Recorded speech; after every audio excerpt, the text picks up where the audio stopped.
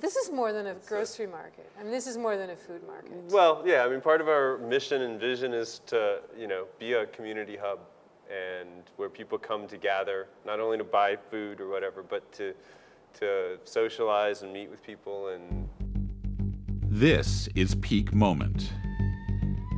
We are living at a peak of human innovation, information, wealth, and health.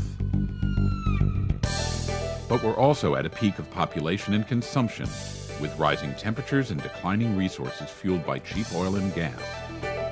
Peak Moment Television, bringing you examples of positive responses to energy decline and climate change through local community action. Hi, welcome to Peak Moment. I'm Janaea Donaldson. I'm in my hometown of Grass Valley in front of what's going to be opening very soon, our new BriarPatch Co-op Community Market, which has been the dream for a long time. I am with a manager, General Manager Paul Harton. You must be excited. I'm very excited. Yes, we all I mean, it's got to be scary and, and wonderful all at one time to have such a large new space. Where did we start? What, I mean, our little store right now is how big? Uh, 3,000 square feet, And this is? 11,000. My goodness.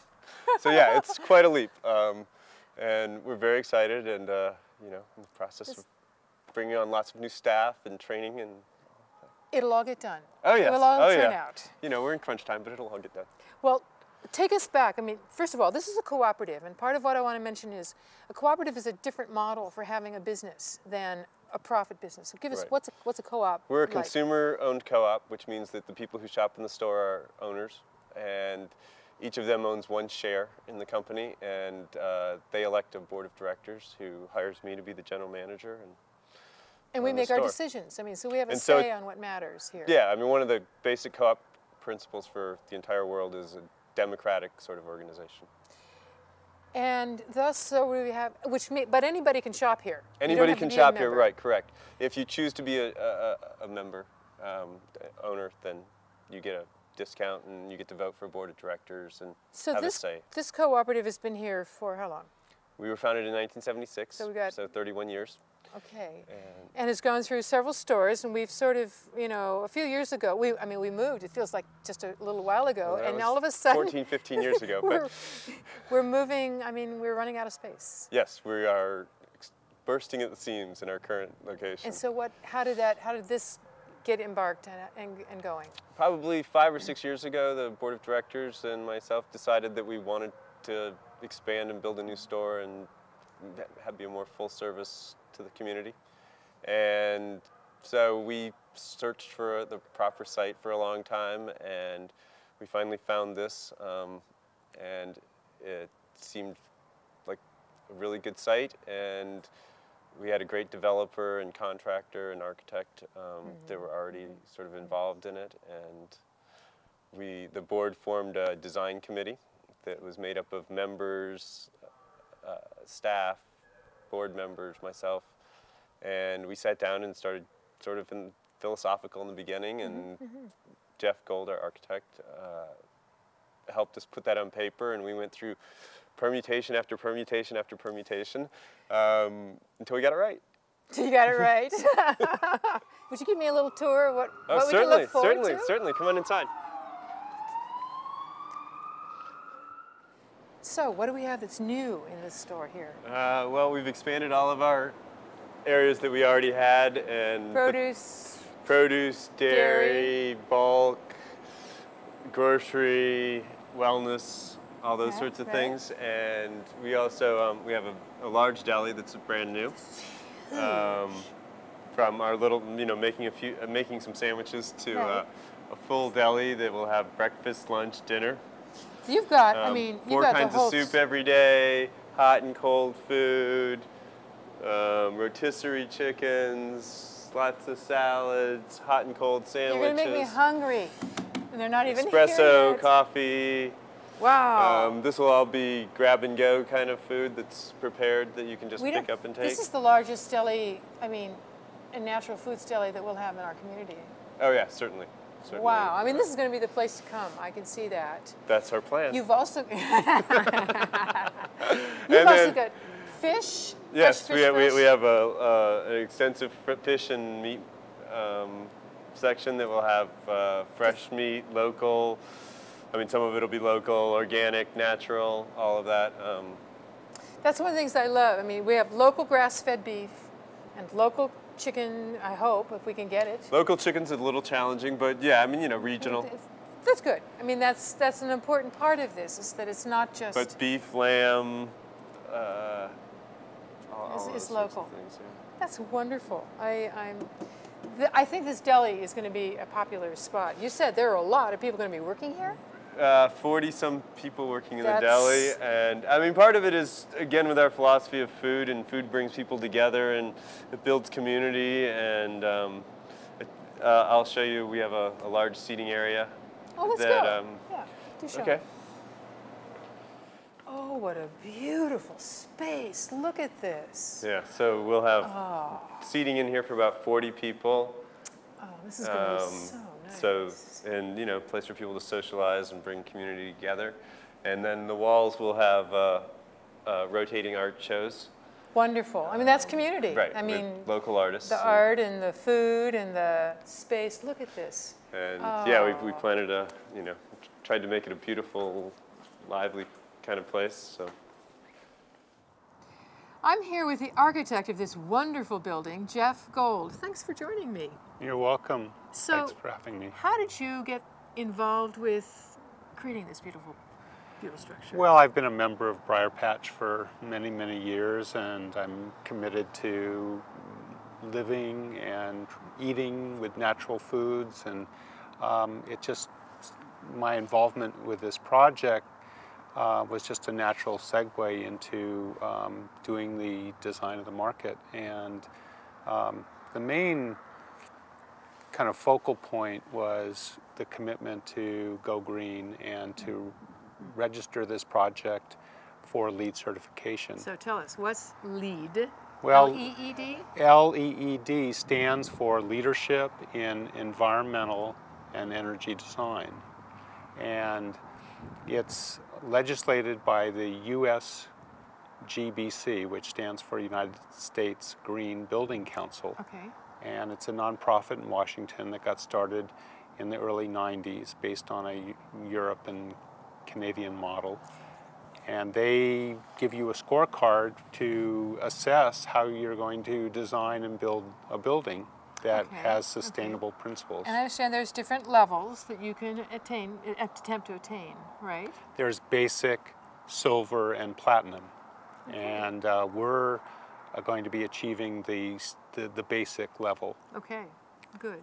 And and what kinds of things did you have to think about? How did you get how did you get into having it be green and making those decisions? One of the major events was to hold a, a, a weekend workshop with the board, with all the design uh, consultants and engineers, and to just to talk about the process and the commitment and what kinds of decision making would be involved. And after that workshop, it was very clear that we wanted to do it and that we could do it, and that we felt that it was an important step for BriarPatch to commit to this. Well, it's a real statement. I mean, it's a statement of the continuation of the values that BriarPatch is about, living gently on the earth. here. Exactly. It's about sustainability and trying to live within our means and being very conscious about using the materials and being sensitive to the energy that goes into supporting this building. So while we are here outside, what kinds of things did you think about for the outside? Well, On the outside, you know, some of the decisions included uh, using uh, drought-tolerant plants and minimizing irrigation, so we're not uh, throwing a lot of water out in the air. We're uh, containing all the storm water on site with a retention basin, so we're trying to minimize any impact to downstream watersheds. We're incorporating bike racks and connections to the sidewalk and trying to make this as accessible as possible. And it's on a bike route, on a bus route. It's on a bus, bus route, and we also there's a, we're tying into a trail system Ah, that that weaves um, across Linton Hill. Okay. And and what other so in the LEED certification they're looking at materials, the design, the efficiency and energy. What else? I don't know what else you think about. There's a, there are six categories. One has to do with the siting of the building, and of course the building was sited to be able to handle a, a large photovoltaic um, array on the roof, Okay. oriented to due south. So there's the site component, then there's the materials that you use, um, the embedded energy in those materials, and are the materials recycled, and what is the what is the toxicity level of the build of the materials? Um, the energy that goes into lighting and heating and cooling the building, and then there are um, there's water, which is um, you know how is water used inside the building in terms of uh, that that there's um, motion sensors on the faucet so that water only comes out when when someone comes before it. So um, anyway, we had to look at each one of those categories and make critical decisions about what was going to be used and figuring out you know how it could be done in an affordable manner. That's an important consideration, given this is not a wealthy corporation that's building, that has built this building, but local people and, uh, Right. We were very we were very sensitive to costs in, in evaluating every system and every material. Mm-hmm, So you want to go inside and look at some of these? sure, let's go Okay. see.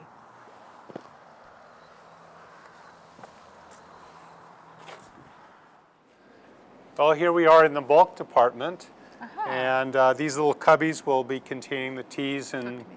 and uh, herbs. Okay. And these cubbies are made out of a 100% recycled product.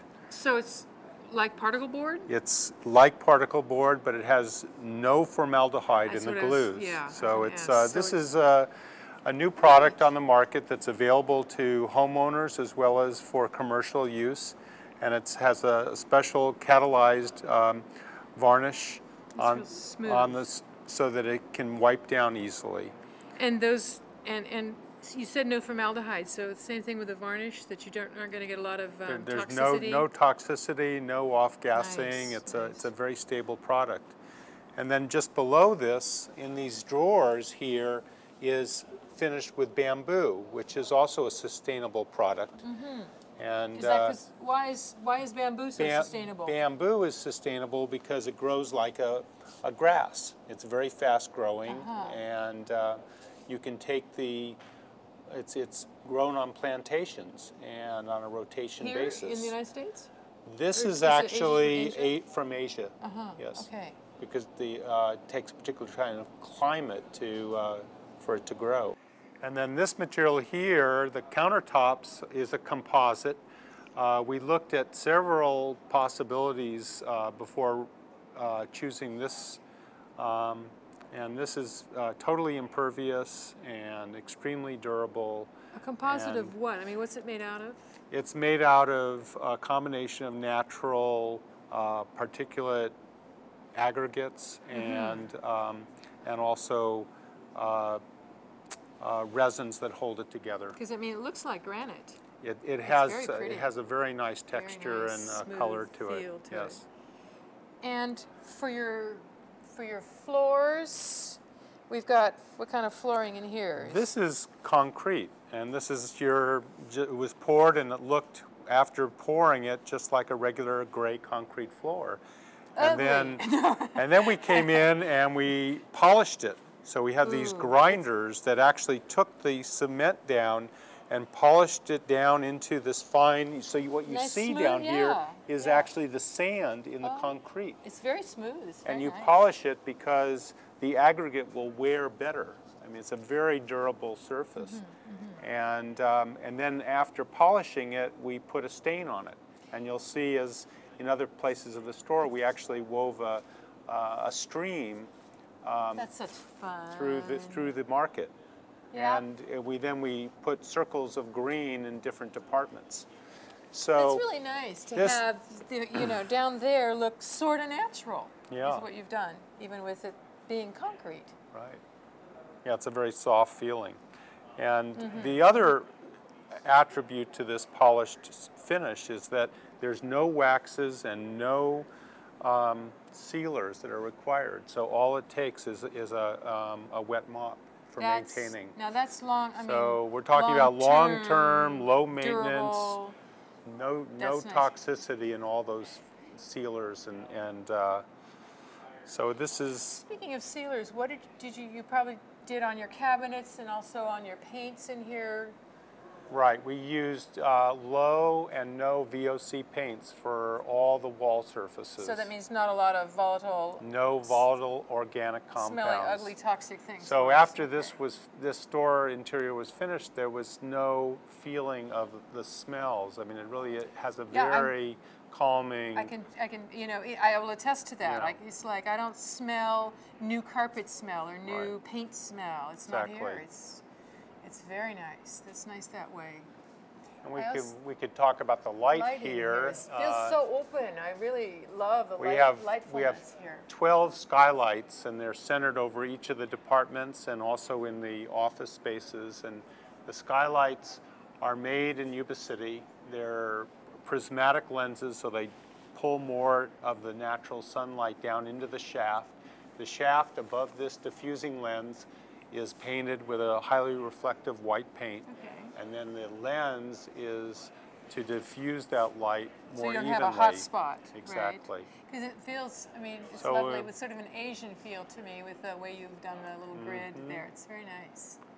And then the, um, the pendant lights are the highest efficiency um, uh, compact fluorescent uh, uh, tubes in, in these hanging fixtures. And, um, you know, buildings use about 40% of the electricity that's consumed In the, in the in world? the world, yes. 40%. So, That's a you know, lot. how we use electricity for lighting our spaces is, is very critical to trying to pull down the amount of Mm-hmm. electrical demand, which in turn, you know, is related to how much coal we burn or the, the hydroelectric dams that we build. So this lighting system is controlled by, uh, it's time sensitive and it's user sensitive. You go into different parts of the market or the, the offices especially and there's no switches anywhere in the market. You walk into the space and the lights turn on. When Uh-huh. you leave the space, They the lights turn off. That's nice. That's nice.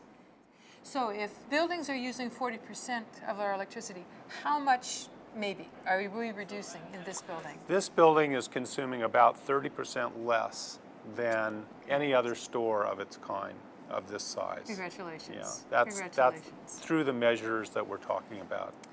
So I want to also take a look at, that's one part of your energy picture is your lighting, right? Heating, cooling, refrigeration, freezing, you know, all of that. Well, let, let's take a walk up to the, to the mezzanine level and look at the, sort of the guts of the store of what, how Okay. all of these cases are refrigerated and how the space is heated and cooled. Great, I'll follow you. Okay. Well, here we are in the loft, and up here is all the equipment, the, the guts of the store. Wow. This is what supports all the refrigeration equipment. These two units here actually provide all of the compressors for the cooling, refrigeration, the walk-in cases. And the freezers too? Yeah, the- the freezers, everything that's, uh, and this is, there's a, a huge computer behind this control panel, so you can program each unit, and this is also tied into the computers to the general manager's computer and also the, the company that's going to be troubleshooting this. So they're, they're keeping status on, on everything? There's, a- there's a complete record, Uh-huh, okay. so we can actually monitor the performance of this equipment. and why is this, and is this something new and different? This is very new. This is only a few years old. Really? Yeah, this is new technology. All the compressors behind this panel are a half a dozen compressors. And they're staged so that there's not one big compressor, but the compressors run a on an as-need basis. Ah, so this is a, the ah. most energy efficient piece of equipment made for store refrigeration. So when you, because that's going to go a huge energy sink to This was to a this was a major commitment for BriarPatch and, and also for the LEED certification process that this really is what pulled our energy consumption down. Ah, I was going to say, to really, to bring it And then down. this, this panel over here, um, this is the brain that controls the, the space heating and cooling. All right. And what we're, what we've done here is we've coupled these two together. Whereas the excess heat that's given off by the refrigeration process conversion Yes. is then recycled to heat the, room, the, the store itself. Brilliant, because those compressors make heat. Exactly. And then it's, it's actually brought over and it's controlled through this panel to Ah. bring, to, to warm the store. Now, how do you- Because the store has so much excess cooling thrown off by the refrigeration cases that you're actually heating the store more often than, than, than, you than you think about. So, so we're heating the store by refrigerating it. Correct. I mean, I mean, it's a, the refrigeration is helping that heating process. well, that's, I mean, that's what we need to do is not wasting any of our heat or cold, Right. right? Okay. And then um, as we come down, these, these are actually the furnaces that are heating the offices and they're all zoned. So only the Oh. spaces that are being used are being heated. Smart. There's no thermostats to, to tamper with. It's all based upon occupancy sensors So you got more bodies in there and it's warmer, it's not gonna. exactly. Oh, good. And it's also good. time controlled, so we're not heating the spaces when they're not used. And then down in this corner are the four, four hot water on-demand heaters. So we don't have a tank sitting with hot water just consuming energy. And just sitting But there taking energy. If there's a, a, a need for water, a call for water in the deli or the kitchen, then the water is cycled through. There, boil. This is like a, a, a boiler. The water passes through it and is heated on demand. Right, so it just a, the flame bursts, we have this at home. Correct. So the water starts to come through and it heats it up on the way through. Exactly. So you have one for each, for different Right. places? And they, mo- they, they actually, it, it, the, it depends upon the quantity of water that's called for. And oh. so at any one time, if there's a call in the kitchen for dishwashing and cooking, we might be demanding 20 gallons a minute. So all Oh, of these might fire fi- off when we have the higher demand. So that's gonna be, this is natural gas, This is all says? natural Right, gas, Okay. right? And these these are, you know, 90 98 percent efficient. So this is this is also state of the art equipment and a commitment to going Mm-hmm, to a higher energy efficient uh, system. But these are models for anybody's home, anybody's building. Right. These can be used in in your home. And then, and then for electricity, um, my well, we also have over here Oops, a ladder that goes up to the roof, and of course, up on the roof we have a um, a photovoltaic panel array, and uh, we have all the refrigeration and heating equipment. all right. And insulation like crazy. All through There's the roof, I can up see there. it. If you go through that door, you'll go into a big mechanical well that's all painted white to reduce reduce the amount of uh, re- heat absorption Wow. in the store. This is bright. This would be too bright on a, on a summer day. You'd be blinded. Yeah. Robin, come on up. Oh, it's bright out here. Wow. Yeah, it's very bright, and it's bright because of this white membrane roof that we installed. Doesn't require any petroleum product to manufacture, That's and it's highly reflective, so there's less heat gain to the building. And these are the skylights Skylights, that are composed of prismatic lenses, so that more light is gathered and directed down into the shaft. Mm. What's this big thing? This tall thing is called the cooling tower. and so this is actually what is cooling all the refrigeration cases and all the walk-in uh, coolers. And So- it's recycling the just- water. The water, it's just by running through these blades that it's cooling? Exactly. That's great. So eventually you have to add water. Some of it's going to evaporate. There is an automatic, this is an automatic fill Uh-huh. right here. So a little bit of water is being added. Just like in your because it's long- toilet. It's, it's the exact same principle. nice. So here we are at the, this, is- this unit heats the store uh, and cools the store. And these pipes they're are, warm. are connecting the excess heat from the refrigeration system to the space heating. So this is the linkage where we're capturing the excess heat and using it for the, for the space heating. And then at, At this end, we have a what's called an economizer that brings in 30% fresh air into the heating system. So one of the uh, advantages of this system is to increase the quality of the fresh air in the space Yeah, I noticed by having a higher amount of Clean air instead of recycling and recycling and recycling Correct. the air. Yes. Yeah, and I noticed that you have little mats at the start of the store. Right, the mats in the front are really to help take the dirt off your shoes before coming in, mm-hmm. and it's part of the improving the quality of the indoor air quality. Okay, okay. And then back behind us here is the photovoltaic panels, which we moved over from the old BriarPatch store and have oriented to the south. And um, this is offsetting some of the power being used by the store. So you could probably install a bunch more. We have all the piping and infrastructure set up to actually install a much, much larger system on the outside of, on the sloping roof mm-hmm, facing the mm-hmm, south. Mm-hmm. And so we would be able to potentially provide 20 to 30% of all the electrical needs of this store, which are very large because of all the equipment, Sure. uh, by the sun. Thank you And- for this tour. This is exciting. I mean, what I can see is everybody, you know, invest in your solar panel. We'll have this, you know, named our panels to add to this. You're, it's exciting to see a smallish community of member-owned group commit to this kind of forward thinking, and I bet it's been exciting. It's been very exciting. It's been a real collective effort by many, many mm-hmm. people. That's great. Thank you. Thanks Thank for you. joining us. Thanks a lot. Well, someday, very soon, I'm going to be sitting at this checkout counter and writing my check for what I want here my new BriarPatch. I'm so pleased, to, excited for everybody.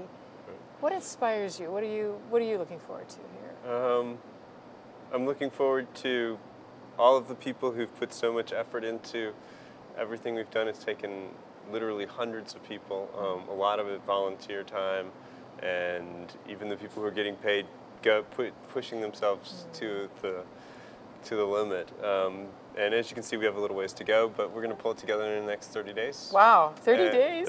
30 28, I think. Um, but uh, yeah, it's. Uh, I mean, that's what I love about my job is uh, community and bringing people together and having a team that works really well together. It's here. It shows. It feels. And I think the community will welcome this with open arms and open hearts. Thank you. Thank you. You're watching Peak Moment, community responses for a changing energy future. I'm Janaea Donaldson, and join us next time.